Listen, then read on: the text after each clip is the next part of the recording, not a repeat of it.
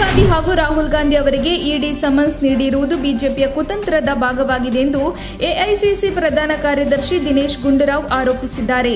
ಈ ಕುರಿತು ಟ್ವಿಟರ್ನಲ್ಲಿ ಹೇಳಿಕೆ ನೀಡಿರುವ ಅವರು, ರಾಜಕೀಯ ಎದುರಾಳಿಗಳನ್ನು ಸೈದ್ಧಾಂತಿಕವಾಗಿ ಎದುರಿಸಲಾಗದ ಬಿಜೆಪಿ, ಇಡಿ ಮತ್ತು ಸಿಬಿಐನಂತಹ ಸಾಂವಿಧಾನಿಕ ಸಂಸ್ಥೆಗಳನ್ನು ದುರುಪಯೋಗ ಮಾಡಿಕೊಳ್ಳುತ್ತಿದೆ ಎಂದಿದ್ದಾರೆ.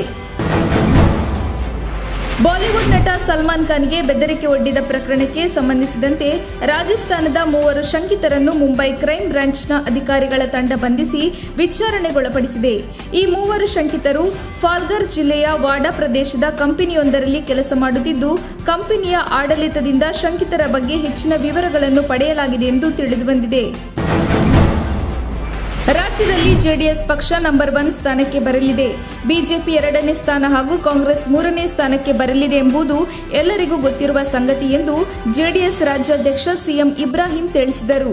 ನಗರದ ಫ್ರೀಡಂ ಪಾರ್ಕ್ನಲ್ಲಿ ನಡೆದ ಪ್ರತಿಭಟನೆಯಲ್ಲಿ ಮಾತನಾಡಿದ ಅವರು, ಮಾಜಿ ಮುಖ್ಯಮಂತ್ರಿ ಎಚ್ ಡಿ ಕುಮಾರಸ್ವಾಮಿ ಅವರು ಮತ್ತೆ ಮುಖ್ಯಮಂತ್ರಿಯಾಗಲು ವಿಧಾನಸಭೆ ಪ್ರತಿಪಕ್ಷದ ನಾಯಕ ಸಿದ್ದರಾಮಯ್ಯ ಹಾಗೂ ಕೆಪಿಸಿಸಿ ಅಧ್ಯಕ್ಷ ಡಿಕೆ ಶಿವಕುಮಾರ್ ಫೌಂಡೇಶನ್ ಹಾಕಿದ್ದಾರೆ. ರಾಜ್ಯಸಭೆ ಚುನಾವಣೆಯಲ್ಲಿ ಮೊದಲ ಪ್ರಾಶಸ್ತ್ಯದ ಮತವನ್ನು ಕಾಂಗ್ರೆಸ್ ಅಭ್ಯರ್ಥಿಗೆ ಹಾಕಿಸಿದ್ದು, ಎರಡನೇ ಪ್ರಾಶಸ್ತ್ಯದ ಮತವನ್ನು ಇವರಿಬ್ಬರು ಬಿಜೆಪಿಗೆ ಹಾಕಿಸಿದ್ದಾರೆ ಎಂದು ಆರೋಪಿಸಿದರು. ಪ್ರವಾದಿ ಮೊಹಮ್ಮದ್ ಪೈಗಂಬರ್ ಕುರಿತು ಅವಹೇಳನಕಾರಿ ಹೇಳಿಕೆ ನೀಡಿರುವ ನುಪುರ್ ಶರ್ಮಾ ಬಂಧನಕ್ಕೆ ಒತ್ತಾಯಿಸಿ ದೇಶದ ವಿವಿಧ ರಾಜ್ಯಗಳಲ್ಲಿ ಪ್ರತಿಭಟನೆ ನಡೆಯುತ್ತಿದೆ. ಕೆಲವು ಕಡೆ ಪ್ರತಿಭಟನೆ ಹಿಂಸಾತ್ಮಕ ರೂಪ ಪಡೆದುಕೊಂಡಿದೆ. ಈ ಹಿನ್ನೆಲೆಯಲ್ಲಿ ಹುಬ್ಬಳ್ಳಿ ಪೊಲೀಸರು ಶಾಂತಿ ಸಭೆ ನಡೆಸಿದರು. ದೆಹಲಿ ಮತ್ತು ಜಾರ್ಖಂಡ್ ರಾಜಧಾನಿ ರಾಂಚಿಯಲ್ಲಿ ಪ್ರತಿಭಟನೆ ಹೆಸರಿನಲ್ಲಿ ಕೋಮು ಗಲಭೆ ಹಿನ್ನೆಲೆ ಹೆಚ್ಚಾಗುತ್ತಿದೆ. ಹಾಗಾಗಿ ಇಂತಹ ವಿಷಯಗಳ ಕುರಿತು ತಮ್ಮ ಏರಿಯಾಗಳಲ್ಲಿ ಚರ್ಚೆ ಮಾಡುವುದು, ವಾಗ್ವಾದ ಮಾಡುವುದು ಮಾಡಬಾರದು. ಓಣಿಯಲ್ಲಿ ಎಲ್ಲರೂ ಸೌಹಾರ್ದಯುತವಾಗಿ ಸೋದರರಂತೆ ಬಾಳಬೇಕು ಎಂದು ಸೂಚನೆ ನೀಡಿದ್ದಾರೆ.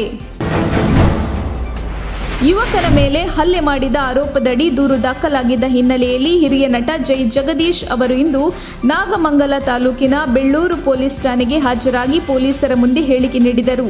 ಅಲ್ಲದೆ ಸಮಸ್ಯೆ ಬಗೆಹರಿಸಿಕೊಂಡಿರುವುದಾಗಿ ಇದೇ ಸಂದರ್ಭದಲ್ಲಿ ತಿಳಿಸಿದರು. ರಾಜ್ಯ ಸಂಧಾನ ಮೂಲಕ ಪ್ರಕರಣ ಇತ್ಯರ್ಥವಾಗಿದ್ದು, ಜೈ ಜಗದೀಶ್ ಅವರು ಕ್ಷಮೆ ಕೇಳಿ ಮುಚ್ಚಳಿಕೆ ಬರೆದುಕೊಟ್ಟಿದ್ದಾರೆ ಎನ್ನಲಾಗಿದೆ. ರಾಜ್ಯಸಭಾ ಚುನಾವಣೆಯಲ್ಲಿ ಅಡ್ಡ ಮತದಾನ ಮಾಡಿರುವ ಹಿನ್ನೆಲೆಯಲ್ಲಿ ಗುಬ್ಬಿ ಶಾಸಕ ಶ್ರೀನಿವಾಸ್ ಮತ್ತು ಕುಮಾರಸ್ವಾಮಿ ನಡುವಿನ ಜಟಾಪಟಿ ಮುಂದುವರೆದಿದೆ. ಉಭಯ ನಾಯಕರ ಅಭಿಮಾನಿಗಳ ನಡುವೆಯೂ ಪೈಪೋಟಿ ಹೆಚ್ಚಾಗಿದೆ.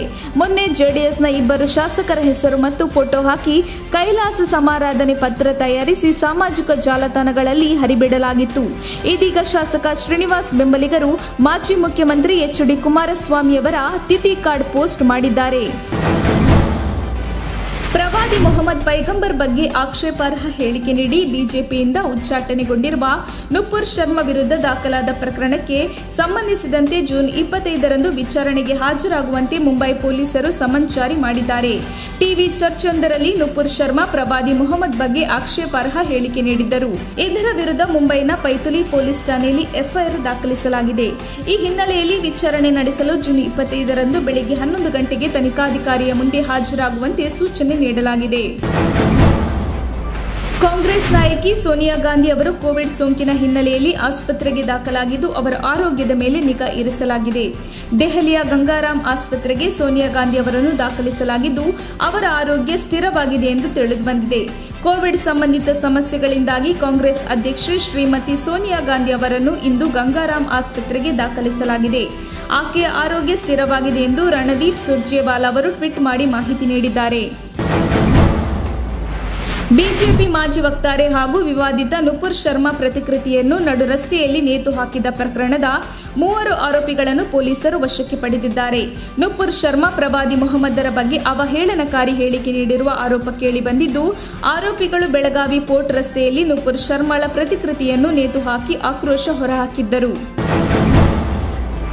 ಪ್ರಧಾನಮಂತ್ರಿ ನರೇಂದ್ರ ಮೋದಿ ಈ ಬಾರಿ ವಿಶ್ವ ಯೋಗ ದಿನಾಚರಣೆಯ ಅಂಗವಾಗಿ ಮೈಸೂರಿಗೆ ಆಗಮಿಸಲಿದ್ದು, ಮೈಸೂರಿನಲ್ಲಿ ಯೋಗ ದಿನಾಚರಣೆಗೆ ಭರ್ಜರಿ ತಯಾರಿ ನಡೆಯುತ್ತಿದೆ. ಅರಮನೆ ಅಂಗಳದಲ್ಲಿ ಹತ್ತು ಸಾವಿರಕ್ಕೂ ಹೆಚ್ಚು ಯೋಗಾಪಟುಗಳು ಪೂರ್ವಾಭ್ಯಾಸ ಆರಂಭಿಸಿದ್ದು, ಪ್ರತಿನಿತ್ಯ ಚಲನಕ್ರಿಯೆ ಯೋಗ, ಪ್ರಾಣಾಯಾಮಗಳ ಅಭ್ಯಾಸ ಮಾಡಿದ್ದಾರೆ.